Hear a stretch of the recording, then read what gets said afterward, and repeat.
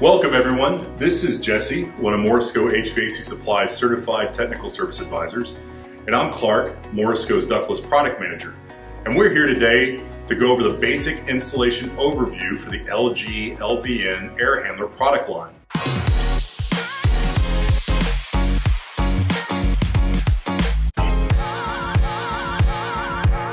This overview is intended to cover the basic installation principles, but is not intended to replace the LG Installation Guide or LG Certified Installation classes.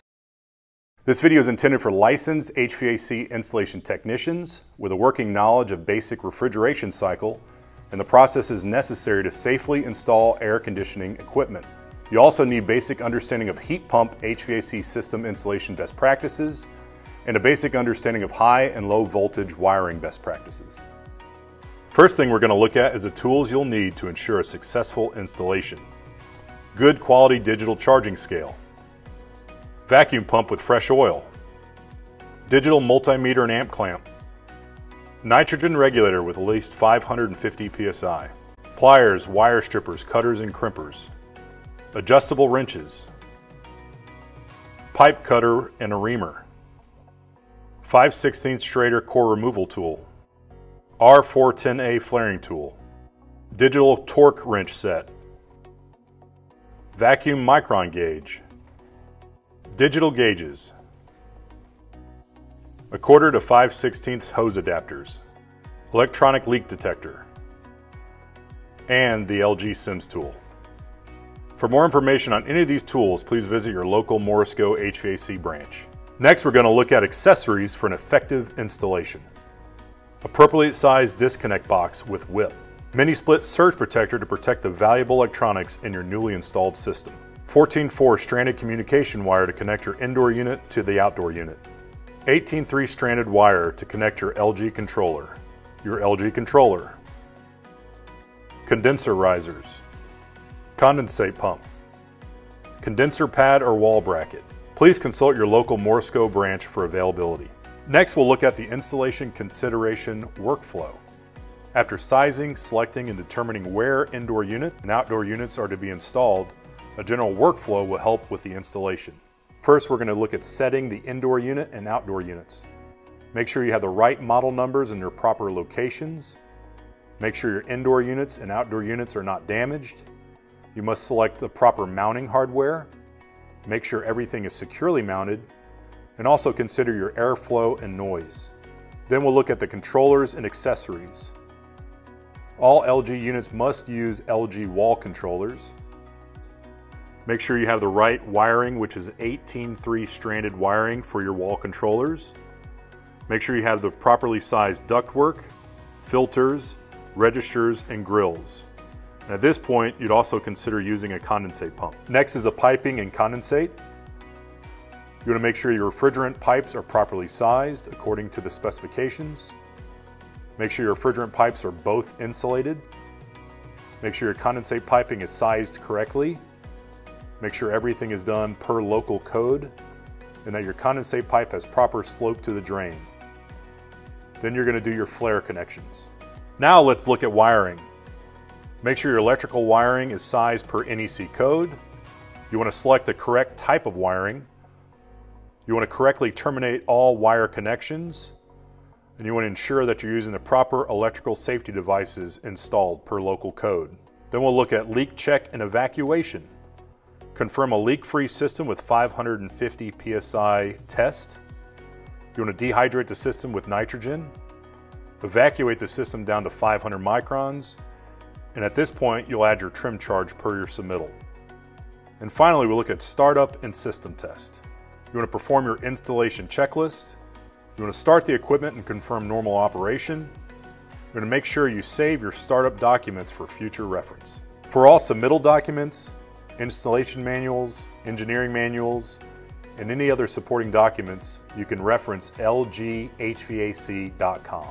Next thing we'll look at is the proper flaring techniques.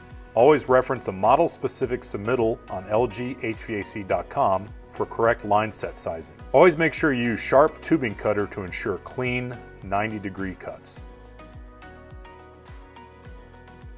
Ream sharp edges from tubing and make sure your pipe is always pointed downward when reaming. At this point, you're going to slide your flare nut onto the pipe. Next, you're going to use the proper flaring tool, a 410A orbital clutched flaring tool.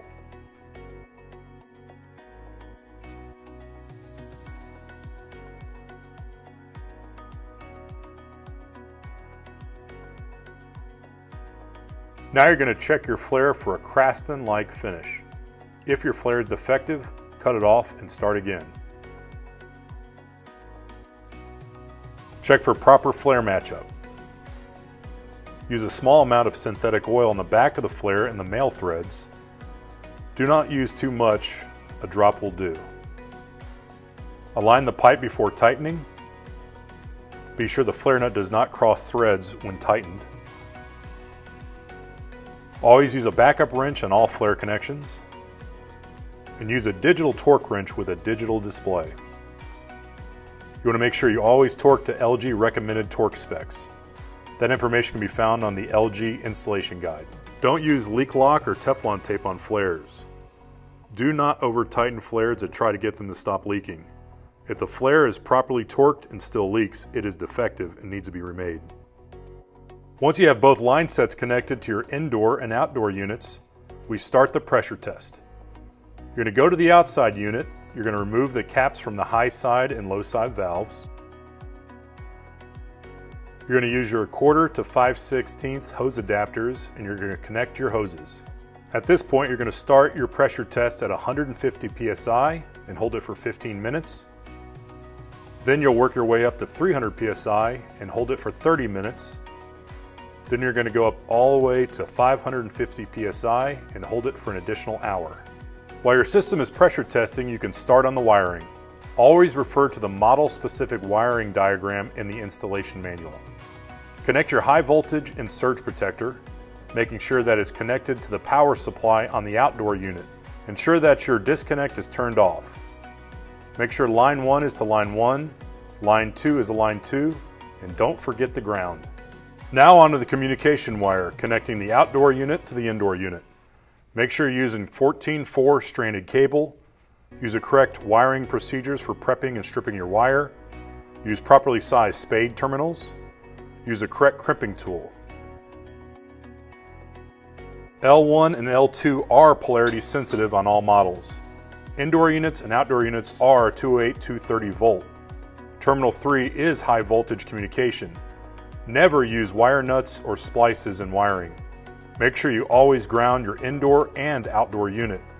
And do not energize the system until the service valves have been opened. If an electrician is running wiring from your outdoor unit to your indoor unit, confirm he understands the wiring requirement. At this point, you can connect your communication wire to the indoor unit. Again, L1 and L2 are polarity sensitive on all models and go ahead and connect your LG controller using 18-3 stranded wire. At this point, you can connect your drain line per local code. After we have confirmed that our system has no leaks, we can release all the pressure and evacuate. Make sure you use a two-stage vacuum pump with a check valve. In this case, our digital gauge has a built-in micron gauge. You're going to evacuate down to 500 microns or less. After we have evacuated the system down to 500 microns or less, you can add additional refrigerant if needed. Outdoor unit service valves remain closed while trim charge is added to the system. Always use a digital charging scale and refer to the model-specific submittal for charging details. Once this is completed, we can now open the service valves. At this point, you want to confirm that you followed all the steps in the installation manual. Provide the owner all warranty and owner manuals that came with the equipment you can use the LG SIMS tool to verify the system is operating efficiently. Please reach out to your local Morsco branch for details on this tool. Confirm normal operation in both heating and cooling. You're going to save your startup documents for future reference. And you're going to provide time to help train the owner about normal operation and future maintenance requirements. Morsco HVAC Supply appreciates your time and your partnership. If you have any questions, please contact your local Morsco branch or you can call one of our local TSAs for technical service.